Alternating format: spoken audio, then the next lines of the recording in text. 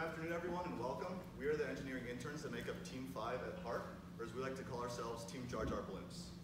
Uh, so I'm Jason Figueroa, this is Anjali Vyas, Gillian Zayan, Catherine Philpott, and Megan Ennis, and we're here to present our Earth prototype of NASA's Mars airship and its design, performance, and adaptations to one kilometer on Mars. So NASA presented us with the problem that they needed an airship for a year-long exploration on Mars that followed certain criteria. So we are tasked with designing, building, and testing this airship, as well as adapting it to the Mars environment. The purpose of this presentation is to present the design and performance, as well as its adaptations. So in summary, our Earth prototype design consists of a C-class envelope with a balsa gondola and a stabilizing fin. We have a mass limit that's within the system mass given to us, or the mass limit given to us by NASA, and we meet all of their NASA requirements.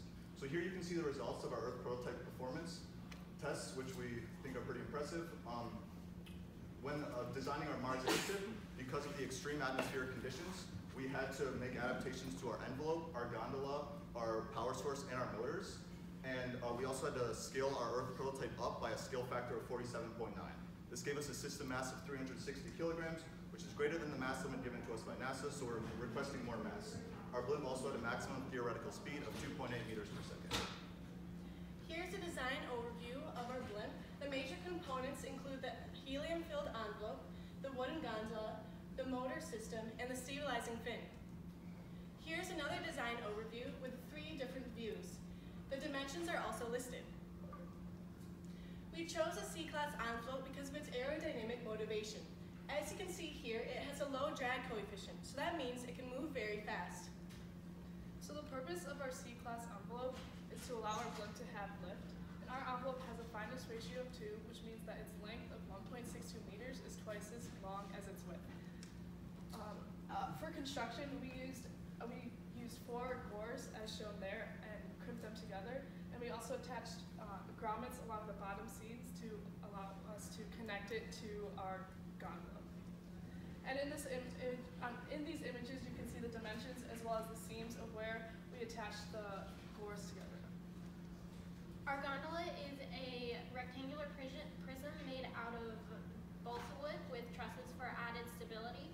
Uh, we have a base that supports our electronics and propulsion systems as well as a place to stabilize the camera during flight.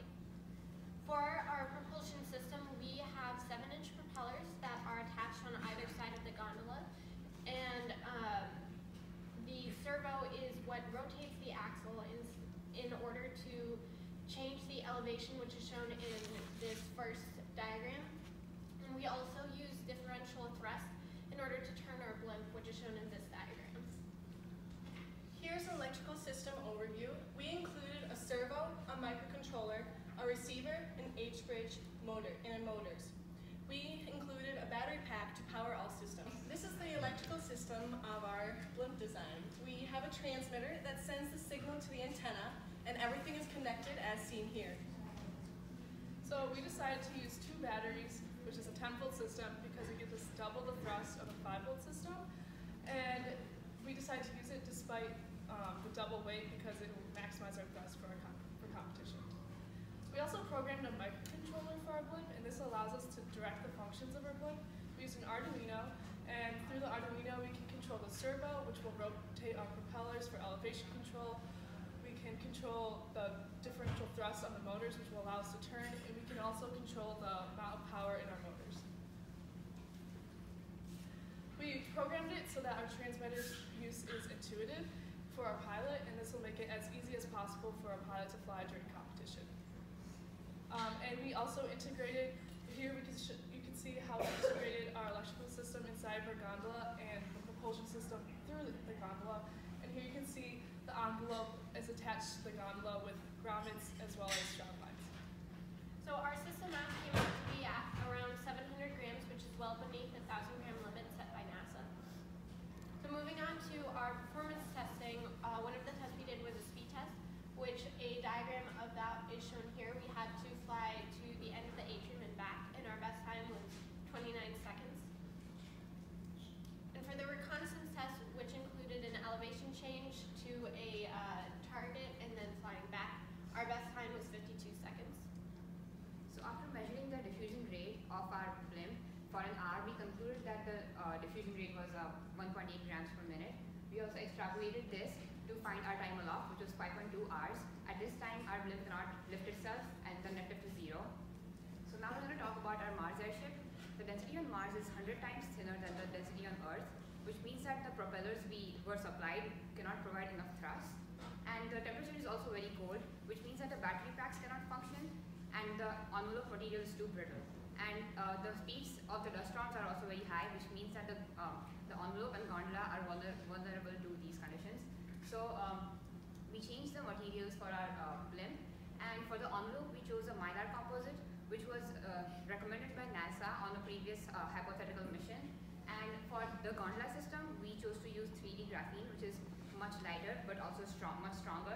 And it, we also used um, bigger propellers and uh, a helium, uh, helium compressor which controls the lift. For the power system, we used a radioisotope thermoelectric generator which can uh, power the blimp for uh, Martian year. Okay, so in designing our Mars airship, we scaled up our Earth prototype by a scale factor of 47.9, which greatly increased our size and lift, as you can see here.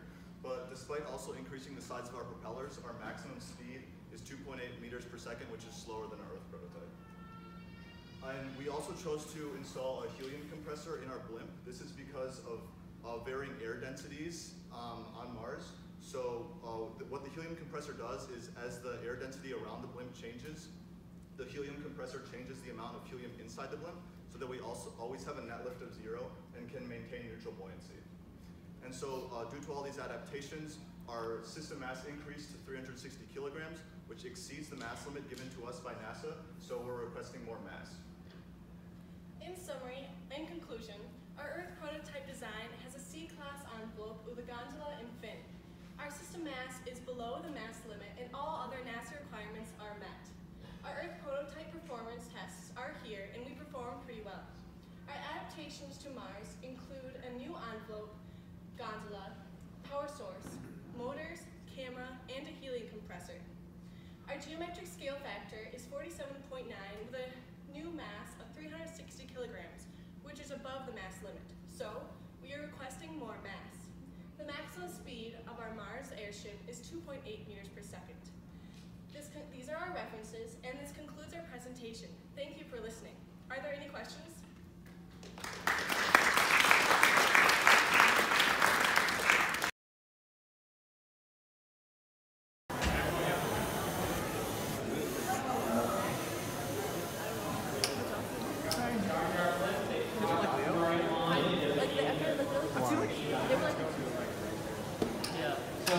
Raise the blue needs to fly down to the end of the atrium, cross the blue line, and then return to the starting line, and that's their time. They just crossed the line, and now they're making the turn to return to the start of the atrium.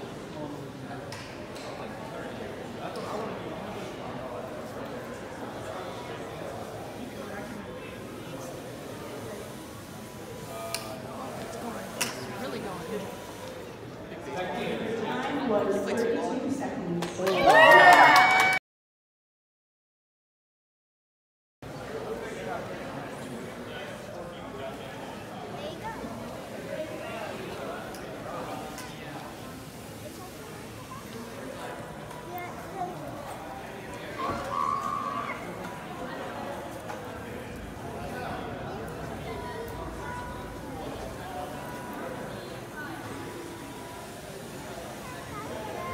And they successfully made it through the laser.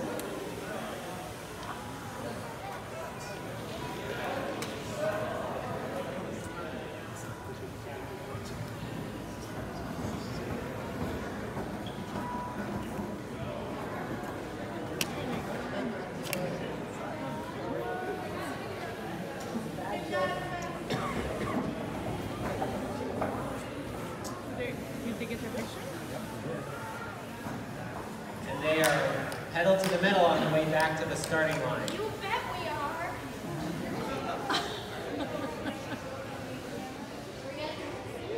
And their time was 59 seconds.